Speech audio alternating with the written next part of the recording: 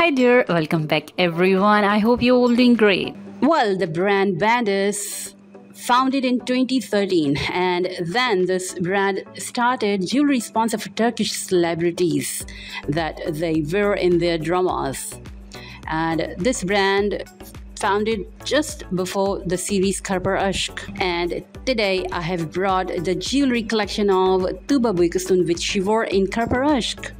Amazing jewelries, amazing designs, and the gorgeous and stylish Tuba Büyüküstün made these jewelries fantabulous.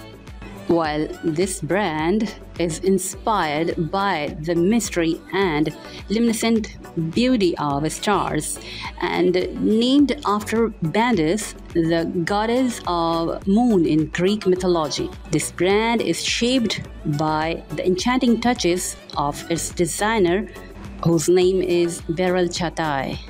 While Bendis produces exclusive collections that reflect the independent and strong spirit of modern women, while making them feel happy and special by livening its designs up using the harmonious combination of bold and contrasting elements, while Bendis adopts the mystical and fabled energy of its own cultural habitat to the modern fashion world by blending it with its timeless design language and peculiar handmade craftsmanship. This brand is liked and favored by many of the most famous TV stars and celebrities of Turkey.